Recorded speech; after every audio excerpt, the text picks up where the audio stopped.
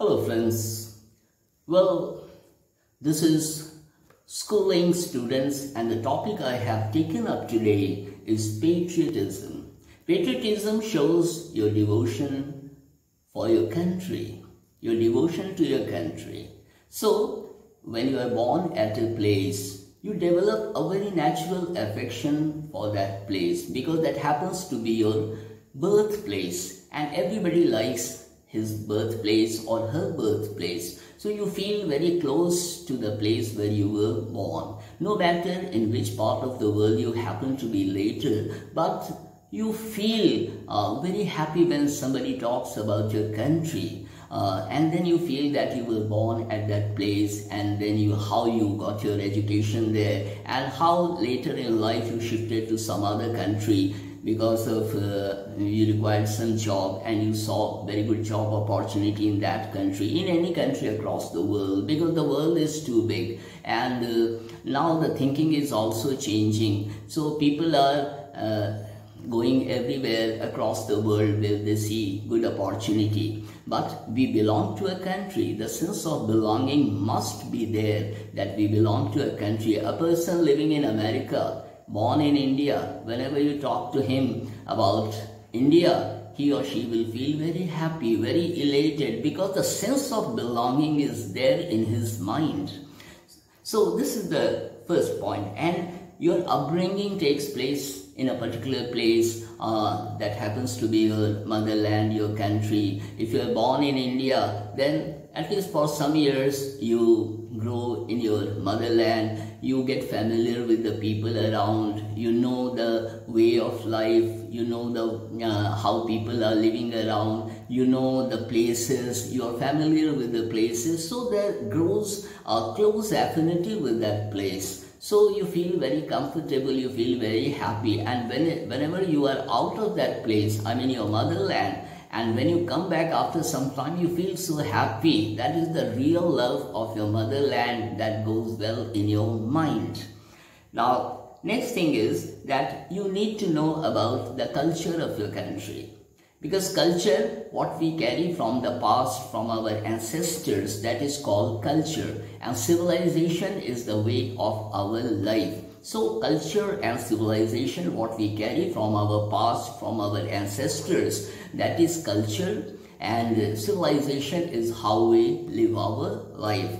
What things we use, how we get along with life. This is our civilization. Like Western civilization and Eastern civilization. Now, they have the different ways of life. We are in the eastern part of the world, so we are eastern civilization and Europe and America are in the west, so they are known as the western civilization. Now, there is a mix of civilizations today because the world has become too small today. Uh, you see, Americans are following uh, Indian lifestyle, Indians are following American lifestyle, Italians are feeling more comfortable in India, Indians are feeling more comfortable in Italy. So, uh, it's just a place. So, because this world is too big and if our mental dimension is quite big, then there is no difference at all. Every place is a place. But yes, a point on the, a dot you can say on the world map is your nation, your country, your birthplace where you have a sense of belonging. You belong to a place, you were born in that place and so naturally you feel very happy uh, whenever you think about your birthplace. There is a very close affinity that develops um, with that place where you were born. Next thing is uh, what I was talking about uh, that you get to know about the history of your country. Now history is divided into three parts as you already know. Uh, the ancient history, medieval history and modern history. So you see now relating to India we can say that uh, we had ancient India, medieval India, the Mughal times India and before that we had ancient India um, so Chandragupta Maurya dynasty and all this. So they were ancient India and Mughal period came, medieval India, so Mughal dynasty came to uh, ruled in India. And then we had the modern India that began with the coming of the British to India and that was in 1600. So from that time onwards, uh, it is called modern India. So get to know about the history of India because when you get to know the history of India, you feel better, you feel elated rather, you feel that you know something about your country. Just getting and just studying and getting marks and making a career and moving in cars and flying uh, all over the world. That is another thing. But the thing is, you must get to know that you were born at a place that is your motherland, that is your country. So you must know about your country.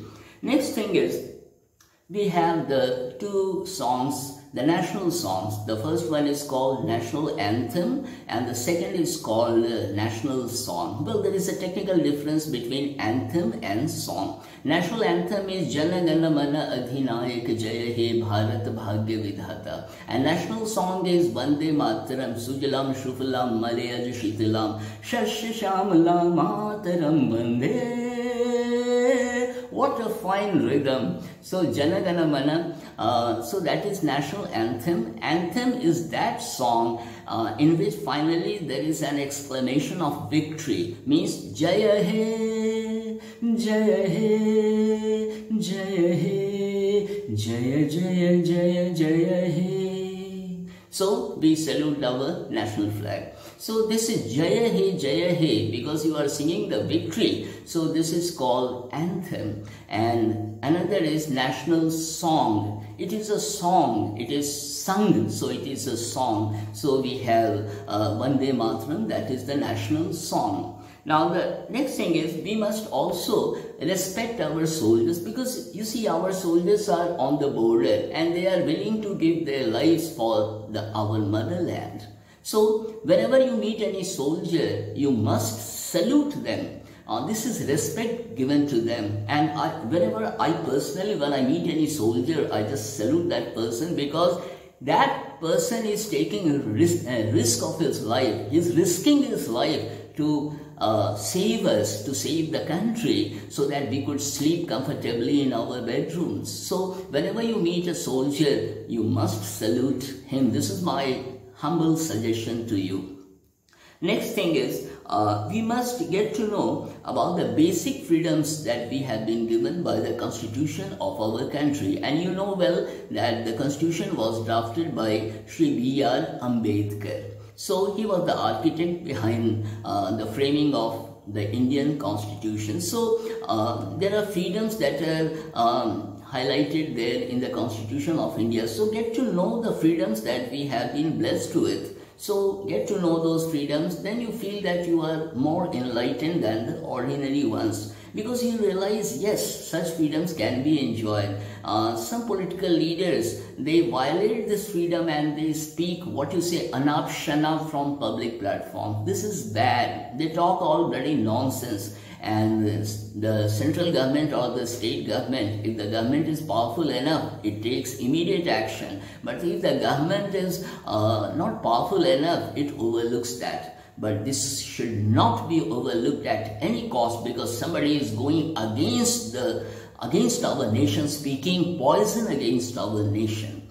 So next thing is get to know about the government that functions. Now the government functions at the central level and at the state level. At the central level, we have the parliament, the system that operates democratically. So we have the parliament and we have the um, MPs there, members of parliament, and we have the Rajya Sabha and the Lok Sabha. So members of both these houses are called MPs. They are the members of parliament. And uh, so, and there is the prime minister, there is president of India, there is vice president. So, they are all in the central capital that is New Delhi. So the capital of India is New Delhi so they all are there. So get to know about how the government works at the central level and then coming to the state level. At the state level at the central level we had parliament but at the state level we have the assembly, assembly. So we have the assembly and the council. There are two houses. So one is legislative assembly and another is legislative council.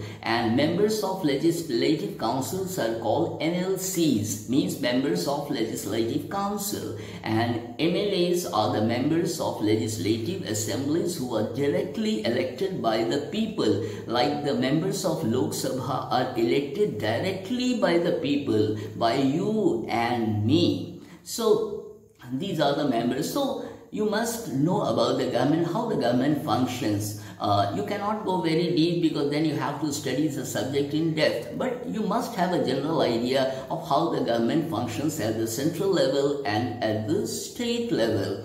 So at the central level, we have the prime minister. At the uh, state level, we have the chief minister. And then at the state level, we have the chief minister and the governor and at the central level we have the prime minister and the president so this is how we get to know about the functioning of our government the democratic system that operates in our country now after that, we must also understand the democratic values because democracy is the government of the people, for the people and by the people as defined by Abraham Lincoln.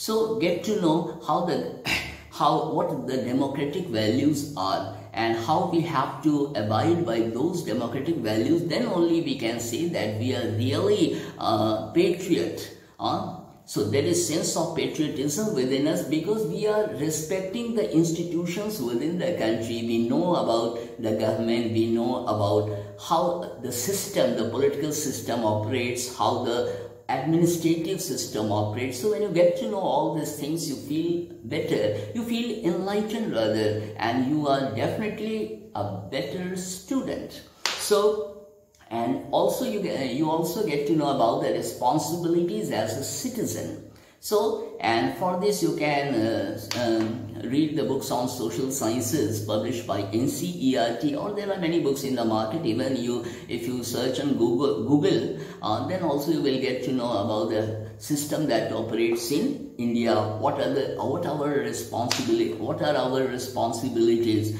If you have a mobile phone in your pocket, you just Google and get to know about the responsibilities as a citizen in India. So you will get to know all these things because uh, I, I say again that knowledge is in our pocket. The mobile phone is out and you just scroll down or scroll up and you get to know most of the things. So my dear, I wanted to share all these ideas with you and schooling students and in Hindi I make uh, Vidyarthiyon Ki Pathshala, that's the name of uh, the video that I often put on internet, uh, YouTube rather. So you may subscribe to my channel and then you will get to know a lot more because you see knowledge is very important. A person without knowledge is like a fish without life. So get to know the things around and then you can go far ahead in life and you will achieve your goal. Thank you